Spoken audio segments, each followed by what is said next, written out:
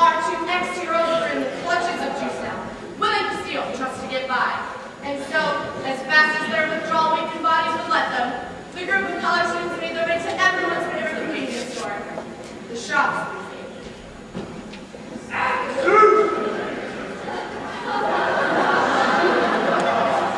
I've an idea. Let's go out here and do your job.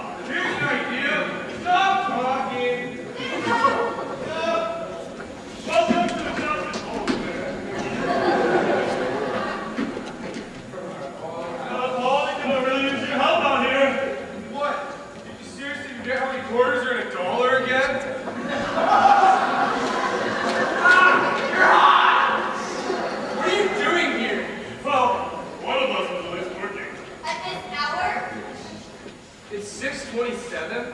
Christ! Yeah, right now! Okay, okay, okay. I'll tell you what. You guys leave and we won't call the cops. We want juice! Yeah!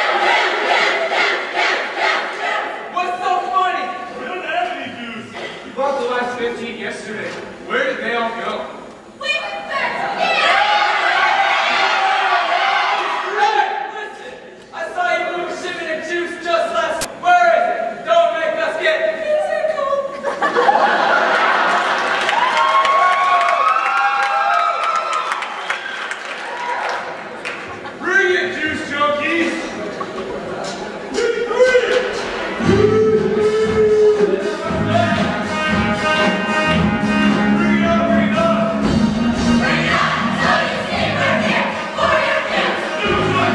Oh!